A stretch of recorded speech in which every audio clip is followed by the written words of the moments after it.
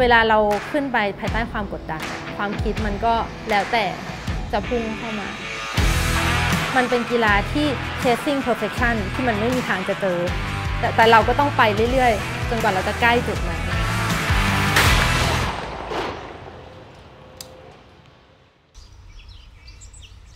จริงๆรู้จักกีฬานี้มาตั้งแต่เด็กๆ แล้วเพราะว่าคุณอาเขาเป็น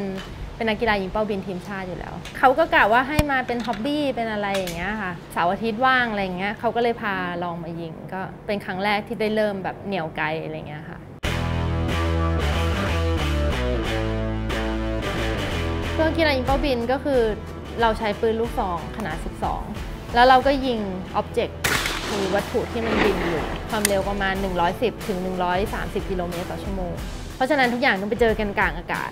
ประเภทของการยิง ก็มีสกีตก็คือประเภทที่มียิงและอีกอันหนึ่งก็คือ trap trap นี่ก็ประทับปืนได้เลย แล้วก็ยิงเป้าไหนไม่รู้ออก 3 ทิศทาง ส่วน skeet เนี่ยเรารู้ว่าเป้ามันจะออกยังไง แต่เราจะเปลี่ยนที่ยืนไปเรื่อยๆ เป็นครึ่งวงกลม เพราะฉะนั้นมุมที่เรามองเข้าหาเป้าเนี่ยมันจะเปลี่ยนไปเรื่อยๆคือตอนนั้นมันเด็กมากอายุ 15 มันก็ไม่ได้มี firm แบบ decision ขนาดนั้น แต่ว่าเราก็เห็นว่า เฮ้ยมันก็มี step นี้ที่แบบเราแข่งได้ พอเราได้เข้าไปอย่างเงี้ยมันสนุกมันท้าทายตัวเอง มันเป็นกีฬาที่ chasing perfection ที่มันไม่มีทางจะเจอ แต่แต่เราก็ต้องไปเรื่อยๆ จนกว่าเราจะใกล้จุดนั้น เครื่องปล่อยเป้ายี่ห้อนี้ไม่เหมือนกันประเทศแดดมาทางนี้ก็ไม่เหมือนกัน แบ็กกราวประเทศนี้ก็ไม่เหมือนกันไปบางประเทศลมแรง แล้วเวลาลมแรงๆจิตใจเราก็กลัว เราก็รู้สึกว่าเรากลัว แล้วเราก็จะไม่อยู่กับเป้าอย่างเงี้ยมันก็ชาเลนจ์ เราต้องมีความสามารถที่จะยิงให้โดน แล้วมีความสามารถที่จะปรับตัวเพื่อให้ยิงให้โดนทุกเป้าให้ได้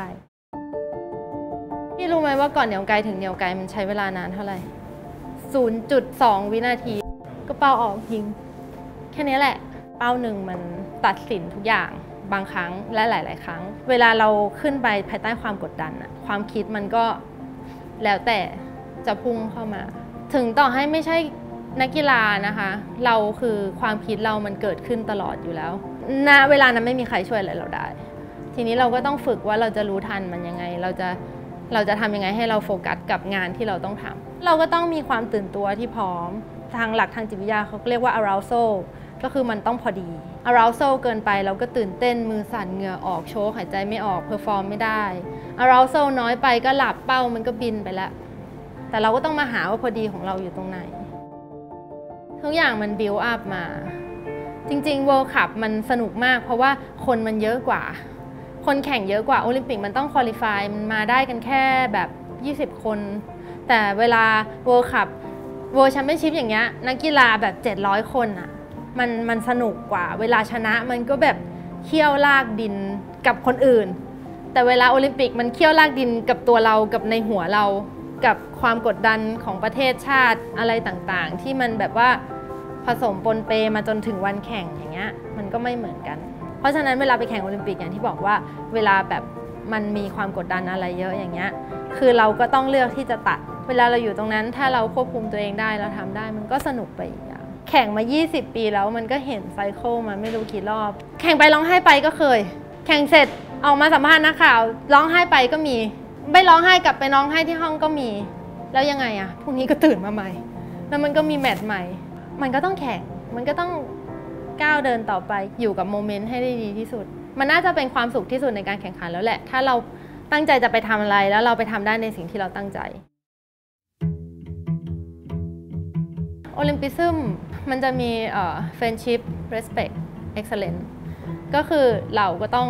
มีสัมพันธ์ที่ดีกับคู่แข่ง เราต้อง respect คู่แข่ง คือไม่ว่าคุณแพ้หรือคุณชนะ